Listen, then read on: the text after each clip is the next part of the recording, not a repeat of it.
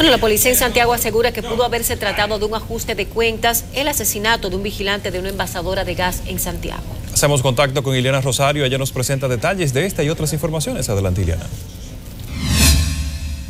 Muchísimas gracias y muy buenas tardes. Saludos a todos nuestros televidentes también en este viernes en relación a las declaraciones ofrecidas por el vocero de la Policía Nacional en Santiago se investiga las circunstancias en las que esta seguridad fue ultimado de bala, aunque por el momento se presume se haya tratado de un ajuste de cuentas, ya que el guardián identificado como Miguel Ángel Rosario Marizán, alias El Papo, no fue despojado de ninguna de sus pertenencias y no realizaron ningún tipo de acción delictiva en el establecimiento de combustibles.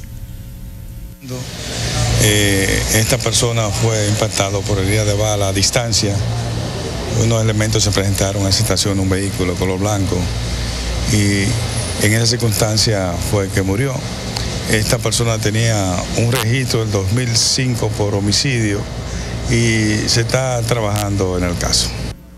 Con respecto al hecho, aún no hay detenidos. Asimismo, informaron que profundizan las investigaciones en torno a la muerte del dirigente popular Félix Manuel Mena, de 29 años, en manos de, encapuchados. El cuerpo será sepultado este viernes en el cementerio municipal de Navarrete.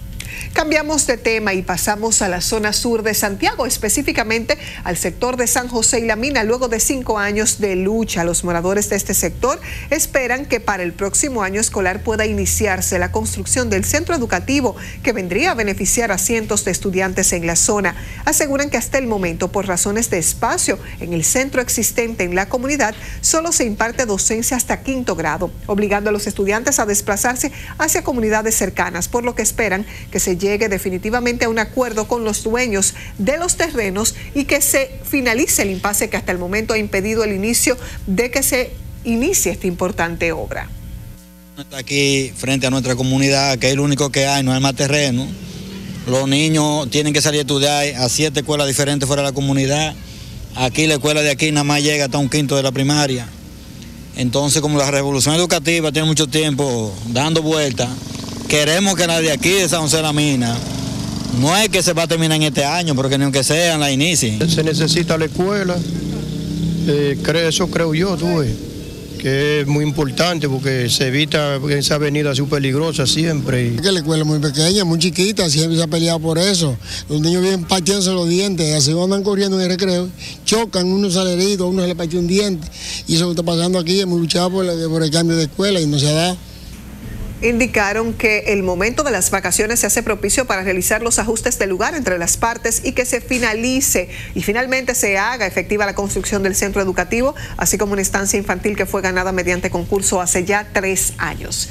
Para finalizar, el dirigente político del Partido de la Liberación Dominicana, Ramón Monchi Rodríguez, del Comité Municipal del PLD en Santiago, negó que el partido esté dividido ni que haya conflictos internos, como lo han establecido algunos miembros de la organización política política y sectores contrarios.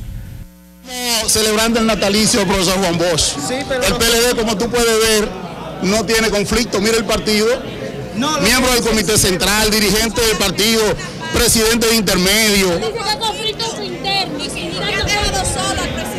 Mira la unidad del partido, cómo se expresa.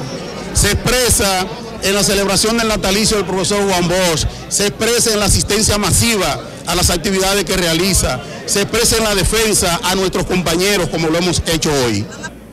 Rodríguez aseguró que la organización morada está más fuerte que nunca, al tiempo que condenó y rechazó el pedimento de renuncia que se le hiciera al presidente Danilo Medina. Con esta información en la tarde de hoy, retorno con ustedes a los estudios en Santo Domingo. Feliz fin de semana. Muchísimas gracias, Ileana, también para ti. Feliz fin de semana.